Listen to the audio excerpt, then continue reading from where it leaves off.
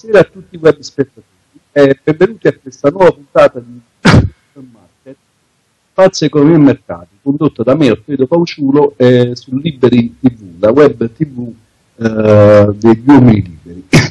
Eh, e stasera, come, eh, come nostro consueto, ehm, così come ogni 15 giorni,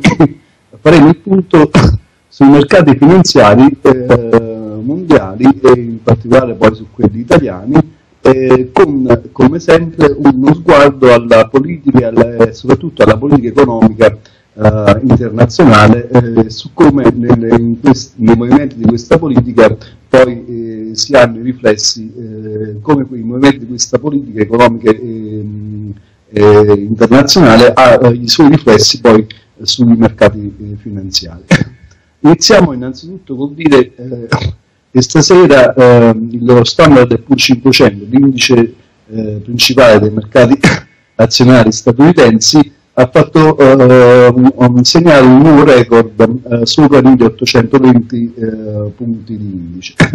Eh, nelle scorse settimane, come avevamo indicato, c'è stata la discesa che aspettavamo dai massimi precedenti e quella discesa si è portata presto a poco nel nel primo livello eh, di sostegno che avevamo indicato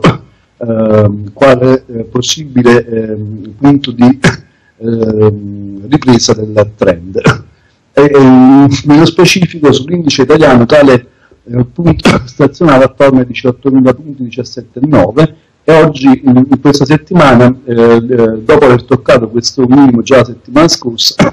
il nostro indice si è riportato sui massimi di settimana attorno ai 18.400 uh, punti. Allo stesso modo lo standard Poor 500, l'indice guida azionario americano, ehm, si è eh, portato ehm, su questo nuovo massimo a partire da un,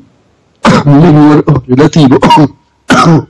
fatto registrare la scorsa eh, settimana intorno ai 1770, eh, 1780 eh, punti. Eh, bene, eh, vista, detta così, la situazione eh, sembrerebbe eh, migliorata, eh, almeno dal punto di vista finanziario. In, in realtà non sembrerebbe eh, proprio così, perché eh, dall'analisi statistica che conduciamo solitamente, eh, che conduciamo sui mercati, ci indica con molta probabilità che questa ondata al rialzo sia eh, solo un cosiddetto rimbalzo prima di riprendere una discesa più corposa. Ciò probabilmente, a nostro avviso, senza compromettere il trend comunque rialzista, sia sui mercati azionari, sia uh, uh, sull'euro-dollar, il quale Gross anche ha fatto segnale dopo un minimo la scorsa settimana, eh, ha fatto segnale di un massimo attorno a 1,38 per poi ritracciare stasera attorno a 1,38 sotto gli 1,38. Um, quindi la nostra aspettativa per le, prossime, per le prossime settimane è che vi sia da inizio settimana prossima un'ulteriore prosecuzione di questo uh, rimbalzo che, porta, che porterà di nuovo l'indice standard più 500 a nuovo massimo fino anche attorno a 1850 punti e magari per, uh, per andare all'indice nostrano, il FTSE MIB 40 fino intorno al massimo precedente relativo di circa 19.000 punti, eh, dopodiché ci aspettiamo una, una ulteriore discesa eh, su livelli inferiori a quelli fatti registrare la settimana scorsa, eh, per andare a toccare dei cosiddetti supporti, cioè dei livelli di sostegno dei prezzi eh, più in basso, eh, che ora vedremo, e da, da cui poi potrà ripartire un trend al rialzo. Eh, mentre eh, questo sui mercati azionari, dal punto di vista invece delle materie prime eh, ci eh, troviamo per quanto riguarda l'oro e il petrolio nelle situazioni che avevamo indicato proprio due settimane fa. Da una parte abbiamo il petrolio che ehm, avendo mantenuto il livello dei 90, eh, 90 eh, parliamo del, chiaramente del VTI, del, del, mm, del petrolio trattato a Londra, eh, dopo aver mantenuto il livello di 90 dollari e 50 al barile, eh, si è riportato al rialzo e facendo un, eh, registrare una crescita in due settimane eh, di circa, in, eh, in, quasi tre settimane, di circa il 10%. infatti in questo momento stazione attorno a 99 dollari e 11 il barile. Allo stesso tempo invece l'oro, così come indicammo, persa il, il supporto eh, statistico che eh, stazione, stazione, stazione, oggi è chiaramente una stazione come, eh, come muro a rialzo, non più come muro a ribasso, eh, di 1250 dollari l'uncia, si è riportato proprio attorno ai minimi relativi fatti registrare nei mesi scorsi, cioè attorno a 1180 punti, facendo registrare un minimo attorno ai 1187 dollari l'uncia per portarsi poi oggi attorno di nuovo ai 1000, di sopra di nuovo ai 1200 dollari l'uncia, eh, registrando in questo momento un prezzo eh, attorno a 1202 dollari eh, l'uncia. Bene, tutto questo però eh, eh, non, non, per quanto riguarda, se, se uno sguarda i mercati azionari direbbe bene, allora eh, l'economia si sta riprendendo, hanno ragione i vari governanti che ci dicono che l'economia si sta riprendendo, ha ragione il governo Letta il presidente Letta che ci dice che nei prossimi anni l'economia italiana crescerà. Un falso, un falso assoluto perché la eh, realtà è che le politiche che, si stanno continuando a mettere in atto saranno solo politiche di redistribuzione ulteriore della ricchezza dai ceti medi e dai ceti bassi verso i ceti eh, più alte, diciamo sostanzialmente verso l'elite del potere. E eh, questo dà corpo comunque a rialzo ai mercati azionari perché sui mercati azionari sono quotate proprio maggiori, eh, le maggiori aziende nei vari settori, per cui la redistribuzione del reddito avverrà a favore di queste aziende a scapito delle medie e piccole imprese, a scapito eh, in genere comunque della borghesia, delle, delle classi borghesi, se possiamo ancora in questo XXI secolo eh, usare eh, questa eh, distinzione di classe ormai ottocentesca, ma di certo è che non solo in Italia, ma nei governi europei, ma anche negli, negli Stati Uniti, sta avvenendo, sta continuando, anzi, quella che è una grossa fase di redistribuzione della ricchezza dal basso e dal centro della, delle fasce eh, medie verso l'alto e verso l'elite l'elite eh, economica del, eh, a livello globale. Per cui eh, anche se dovessimo avere dei lievi segnali di crescita, al momento non ve ne sono e né tantomeno ce li possiamo aspettare rispetto a queste ulteriori manovre ehm, eh, che inseriscono nuove tasse, è, certo che seppur dovessimo registrare dei rallentamenti o comunque dei lievi rialzi ehm, dei vari PIL nazionali, eh, questi, se, eh, se, dovessimo andare a vedere la, la composizione di questi, di questi, aumenti o, di questa, o, di questa, o, del, o, dei livelli del PIL raggiunti in vari paesi, sicuramente potremmo osservare che ehm, il PIL all'interno di queste classi di prodotto interno lordo vedremo che ci, troveremo una redistribuzione del prodotto interno lordo eh, con un maggiore prodotto interno lordo prodotto dalle eh, macro aziende, dalle aziende multinazionali e transnazionali e con un minor prodotto interno lordo prodotto invece dalle aziende, dalle piccole e medie imprese, soprattutto quelle con, eh, con un, un, mercato nazionale o quindi poco orientato all'esportazione e con mercati abbastanza eh, maturi. Questo chiaramente esacerberà eh, porterà a due, eh, questo conduce chiaramente a due eh, linee direttrici che si manifesteranno sempre di più. Da una parte l'ulteriore calo dei consumi dovuti alla, al calo della domanda interna dei, consumi e soprattutto verso prodotti eh, che non sono di fascia media di cui non c'è necessità. E, e allo stesso tempo eh, ciò eh, farà avvenire eh, sempre di più eh, eh, del, a livello di, di, di, diciamo, di, struttura sociale ci sarà sempre di più una, una maggior esasperazione che condurrà a sempre ragioni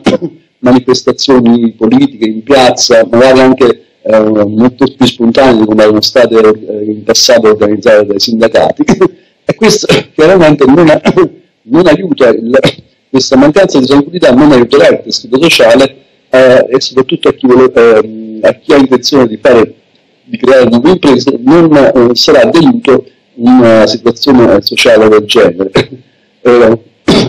per cui il nostro obiettivo qui è di eh, indicare come, per quello che è possibile, eh, per chi dei risparmi ancora, eh, aiutare chi, chi, ha ancora questa possibilità di non fare passi passi, passi, passi e quantomeno mantenere le proprie posizioni all'interno della gerarchia economica sociale affinché eh, questo possa mantenerci ancora liberi rispetto a un'elite, a un'oligarchia se vogliamo, che si sta sempre di più palesando nelle eh, sue azioni sempre, uh, sempre più evidenti e, e, e, palesi a un occhio uh, non dico attento ma quantomeno non proprio disattento. E, tra le altre cose però all'interno di questa distribuzione mondiale del reddito in Occidente uh, dobbiamo anche registrare il fatto che tra i due blocchi di elite principali, cioè quello atlantico e quello eh, eurorusso, eh, c'è comunque uno scontro in atto, tant'è che oggi vediamo, eh, eh abbiamo assistito al declassamento da parte di Standard Poor's non eh, rispetto al debito di, singola, di, un singolo paese europeo, ma rispetto al debito di tutta l'Europa. Chiaramente l'Europa non ha dei bond eh, europei, quindi è ovvio che il, il declassamento ha, ha effetto soprattutto in genere su tutti i titoli di Stato dei paesi eh, dell'Unione Monetaria Europea, ma in particolare sui titoli del Fondo Salva Stato, che fino, a, fino ad ora rimessi dal Fondo Salva Stato del meccanismo europeo di stabilità, che finora godevano di una tripla A e che oggi invece sono stati declassati, eh, con, eh, sono stati declassati e quindi eh, ehm, sostanzialmente eh, rendono da oggi in poi un po' di più. Beh, da, da, questo punto di vista il mio consiglio rispetto a questi titoli è bene, ci fa piacere che Standard è pure lì dei tassi, ma eh, visto che in qualche modo bisogna collocare i propri risparmi affinché eh, non li perdiamo completamente, bene, questo, eh, questo declassamento ci, dà, ci, fa un favore, perché se sul mercato questi eh, titoli vengono votati più in basso e quindi danno un maggiore rendimento, ci dà la possibilità di acquistarli eh, ottenendo dei maggiori rendimenti e allo stesso tempo con molto meno preoccupazioni di, eh, eh rispetto all'acquisto di altre, di altre, attività finanziarie eh, come possono essere i titoli di Stato eh, dei vari Stati nazionali eh, che compongono l'Unione monetaria. E, e però è da segnalare che Standard Poor's fa questo, sì, perché c'è questa politica di, di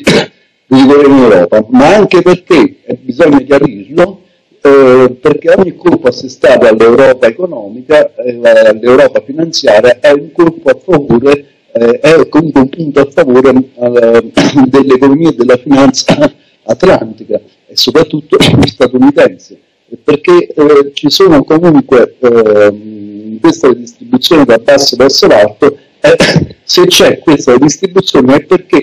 determinate risorse, eh, anche per le classi eh, dell'elite economica, eh, iniziano, come dice, diciamo ormai da, da, mesi, ormai da un anno, iniziano a scarseggiare. E per cui c'è questo drenaggio, non solo eh, quindi sicuramente c'è dal, dal basso e dalla classe media verso l'alto, ma in più tra le classi alte c'è lo scontro tra eh, varie eh, visioni del mondo, varie, varie, eh, varie, organizzazioni che sono più o meno eh, in concorrenza tra di loro ad accaparrarsi queste risorse. E quindi, così per semplificare, parliamo di un, un, ci piace indicare eh, come semplificazione un blocco euro-russo, euro-asiatico e un blocco atlantico con delle componenti anche in Europa che eh, a livello di elite si scontrano anche tra loro in una guerra finanziaria, ormai anche i mass media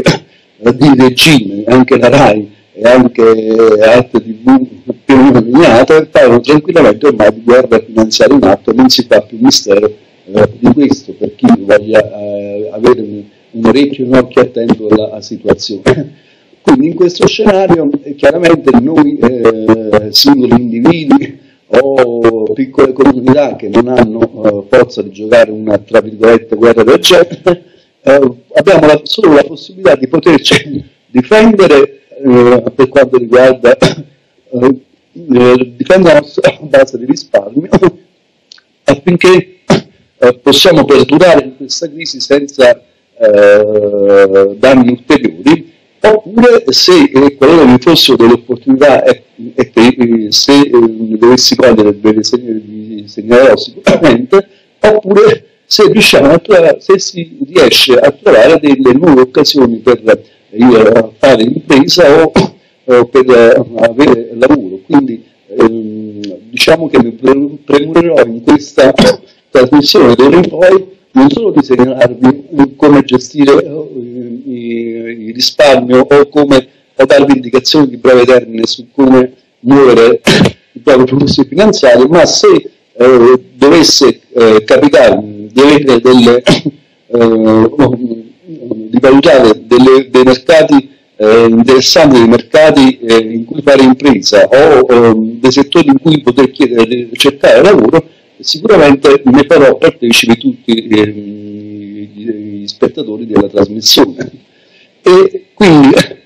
eh, sostanzialmente eh, diciamo, lo scenario non è cambiato rispetto a quello eh, che paventammo già fin dalle prime puntate, anzi sembra eh, a volte con maggior vigore, a volte con minor vigore, eh, continuare questa continuare, sembra eh, che continui eh, questa politica di rigore a livello internazionale il cui vero obiettivo è solo un drenaggio di risorse dal basso eh, verso l'alto. E è chiaro che in questo scenario continua quindi a permanere eh, come influenza sui mercati finanziari una forza dell'euro nei confronti del dollaro, perché nell'euro non si fa ancora una quantitative easing, non si fa ancora un, una, una, politica di agevolazione monetaria, benché Draghi l'abbia annunciata più volte e comunque abbia dato dei segni, ma non se ne, non se ne fa ancora una tale da, di proporzioni tali da, da, essere comparata a quelle fatte in, Europa, in Giappone e negli Stati Uniti. E questo chiaramente fa sì che gli investitori, eh,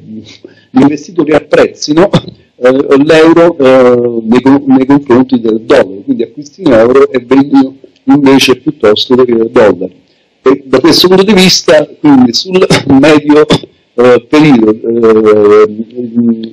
a nostro avviso il trend a rialzo dell'euro contro il dollaro eh, continuerà, anche se momentaneamente, visti i livelli che ha fatto raggiungere eh, qui a giunto nella, nella, settimana in corso, in cui ha fatto registrare un massimo 1,38,10 il cross euro-dollaro, eh, per poi riportarsi indietro, quindi andando a fare un doppio massimo eh, eh, vicino ai massimi di due settimane fa, è molto probabile che si, prima di, di prendere questo ciclo, questa trend di alzista ci sia una, da prima un ribasso che, possa, che, eh, che potrebbe portare i corsi del, i prezzi del cross euro dollaro fino attorno anche a 1,31 e eh, dollari per un euro e seppure si dovesse arrivare a questi livelli anche una, attorno a un, addirittura con un, incremento fino attorno a 1,30 e 50 eh, diciamo che eh, questi livelli soprattutto se eh, dovessimo osservare il mantenimento degli stessi sarebbe un'ottima occasione di ingresso per acquistare dollari per acquistare scusate euro e vendere dollari. Eh, da lì poi potete partire un rialzo che, eh, eh, la cui estensione finale al momento come già ricordavamo due settimane fa, potrebbe protrarsi fino a 1,41,60, 1,42 dollari contro l'euro. Lo stesso scenario, cioè quindi di, eh, di un top momentaneo raggiunto sul, sul cross eh, euro-dollaro che potrebbe vedere nella prossima settimana già e con le prossime settimane un ribasso prima di proseguire il trend a rialzo, lo stesso scenario dicevamo si presenta sui mercati azionari in particolare nello specifico ehm, sul mercato azionario nostrano, lo standard eh, del FTSE 40 dopo aver assistito un minimo eh, questa settimana, ma anche la scorsa settimana, attorno ai 17,7, 17,9, che erano più o meno il massimo eh, che indicammo negli scorsi mesi, eh, eh, il massimo da superare per avere un trend, eh, un cambiamento del trend, beh, fino al mantenimento di quel livello eh, il, il trend al rialzo sebbene con miglior, eh, con rispetto a quanto, come era stato nei mesi scorsi, eh, riprenderà, anche se anche in questo caso, a nostro avviso, è possibile che la settimana scorsa, la settimana prossima assisteremo ad un ulteriore prolungamento di questo rialzo in corso che, eh, che vede l'indice oggi a 18.600 punti circa e che potrebbe proseguire fino a 19.000 punti, 19.100 eh, 19.200 eh, punti, più o meno attorno al massimo del mese scorso, eh, per poi eh, eh, invece vedere una discesa eh, fino attorno invece, a, a 17.300 punti, cioè 400 punti in base, più giù rispetto al minimo di, di, questa settimana o addirittura anche a prolungarsi fino a 16.700 punti di indice. Da, da quel livello poi potrebbe partire invece, eh, potrebbe ripartire un trend sostenuto al rialzo. Quindi eh, i punti cardine eh, sul Puzzi, sul Puzzi e sul cross euro dollaro sono eh, al ribasso di 16.700 punti per il Puzzi Mid, livello al cui se vediamo c'è un forte eh, sostegno e che i prezzi stentano a toccare quel livello, comunque se lo toccano eh, riescono a permanere con molta forza al di sopra, eh, è sicuramente quello indicativo di un, un formidabile punto eh, di acquisto eh, per eh, i mercati, sul mercato azionale italiano. Così come il livello di 1,30, di 1,30,50, 1,31,20 è altrettanto per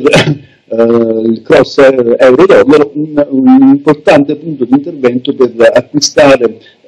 e portare a rialzo la posizione dell'euro nei confronti del dollaro. Nel frattempo, eh, per quanto riguarda il petrolio quotato a Londra, eh, eh, forse l'unica attività finanziaria da quelle che teniamo sotto osservazione che potrebbe eh, non avere questa tendenza, cioè di, di, subire prima un ribasso per poi avere il contraccolpo al rialzo, per poi proseguire il rialzo, e invece potrebbe proseguire tranquillamente al rialzo, magari con minore intensità mentre i mercati, finanzi- eh, mentre i mercati azionari scendono, scenderanno nelle prossime settimane, per poi avere maggiore intensità al rialzo nelle settimane successive quando i mercati eh, azionari, come almeno eh, prevediamo, potrebbero poi eh, riprendere la linea del rialzo. Quindi in questo senso il consiglio magari per la prossima settimana, per chi vuole fare brevi operazioni di trading, è eh,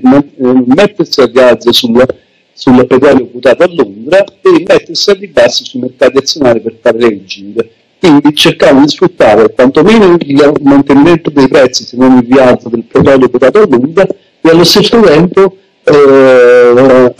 per coprirsi dalla discesa dei costi eh, possibili, dalla possibile discesa dei costi sui mercati azionari. Eh, per quanto riguarda l'oro invece eh, al momento il fatto che abbia eh, oggi, eh, anche eh, oggi toccato questo minimo attorno ad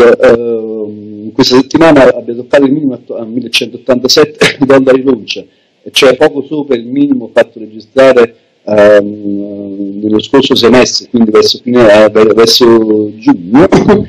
eh, ci indica la possibilità che si stia formando un doppio minimo eh, sui grafici di prezzo eh, da cui può partire un trend eh, a rialzo, la cui forza però eh, fino a quando non si dovesse superare i 1300 dollari l'oncia non si manifesterà. Per cui eh, l'indicazione al momento sull'oro è di acquistare su questo livello, ma con uno stretto cioè attorno ai 200 dollari l'uncia, ma eh, ad acquistare proprio un'ottica speculativa eh, tale che se il prezzo dovesse portarsi sotto i 1180 dollari l'uncia, eh, bisognerebbe chiudere le posizioni addirittura invertirle, cioè quindi prendere a ribasso. Quindi rischiare questo, um, questo 2% eh, quindi acquistando a 1200 e eventualmente chiudere sotto 1180, eh, rischiare questo 2% eh, di perdita, eh, però rispetto alla possibilità che invece i corsi non scendano più sotto quei livelli, ma si portino quantomeno attorno a 1285 dollari l'unce, quindi con un guadagno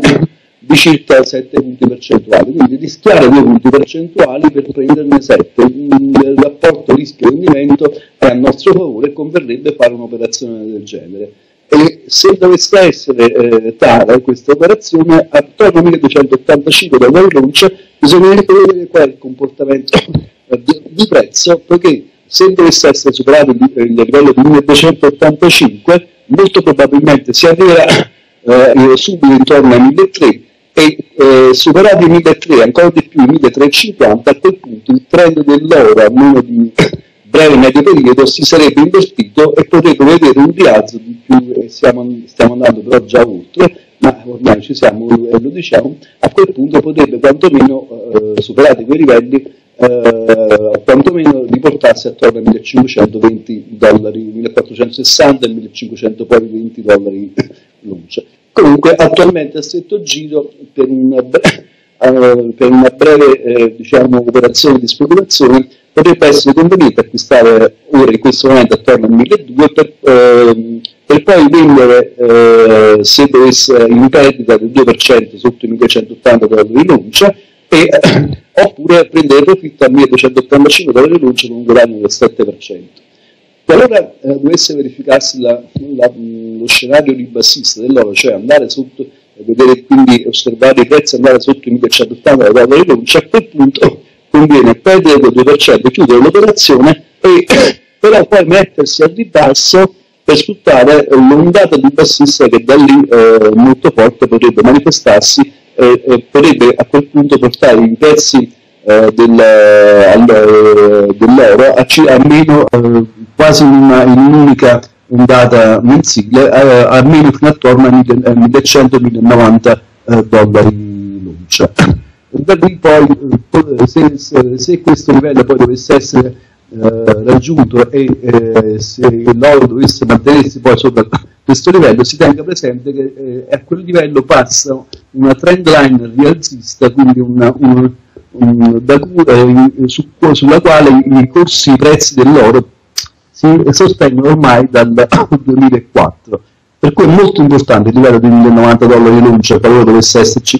questa componente al ribasso, perché da lì potrebbe essere finita una fase di scarico al ribasso dell'oro e da cui potrebbe ripartire quantomeno, se non un rialzo verso nuovi massimi storici, ma un rialzo di grossa importanza a livello del trend mensile e che potrebbe poi portarlo eh, fino anche attorno a 1460-1520 eh, dollari l'uncia che, eh, di cui, eh, che indicavamo oh, prima. Eh, per quanto riguarda i mercati azionari in particolare, come sempre continuiamo a consigliarvi gli stessi settori, perché non essendo usato uno scenario economico e anzi eh,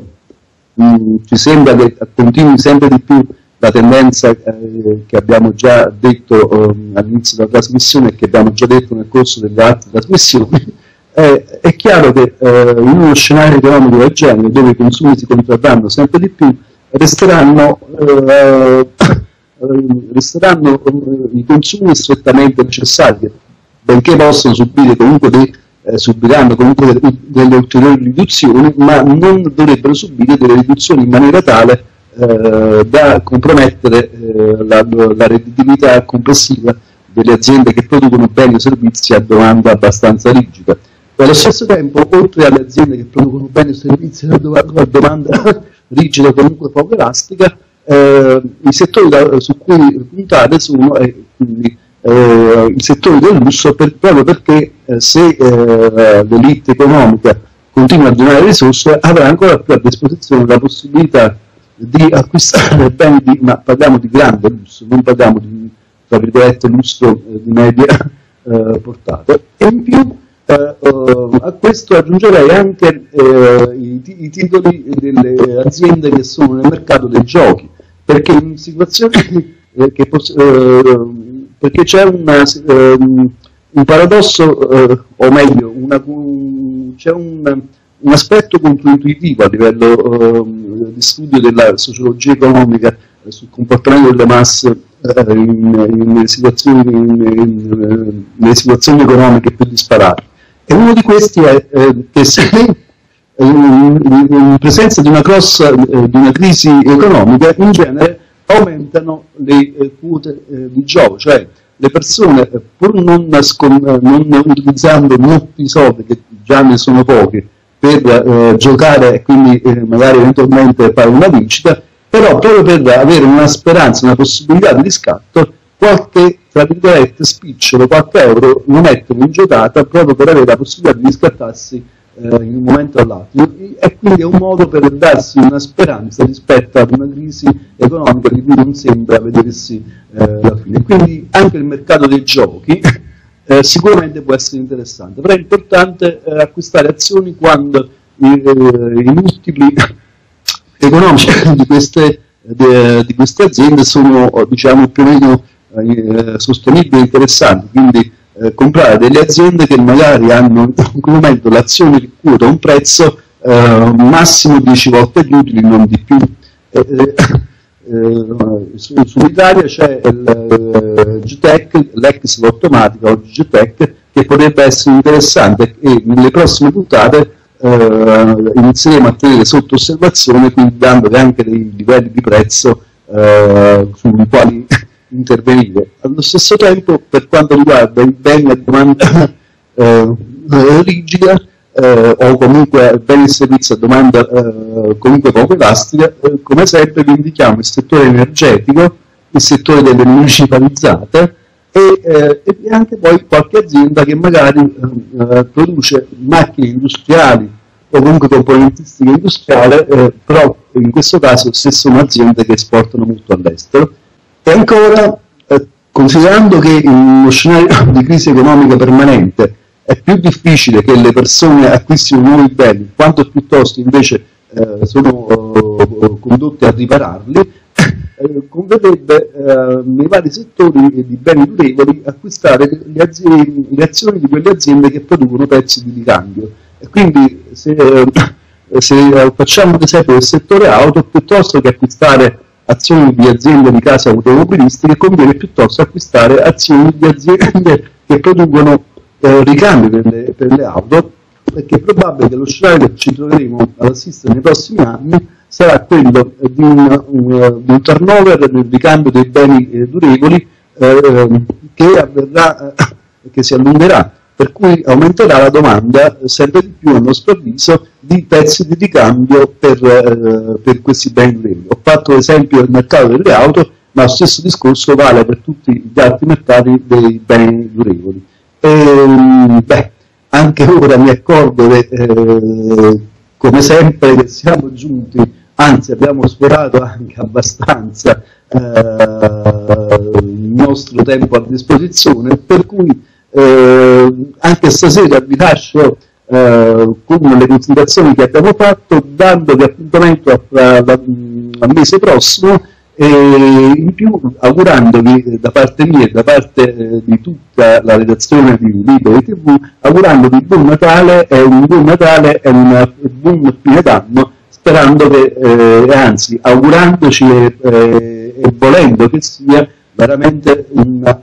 anno di rinascita.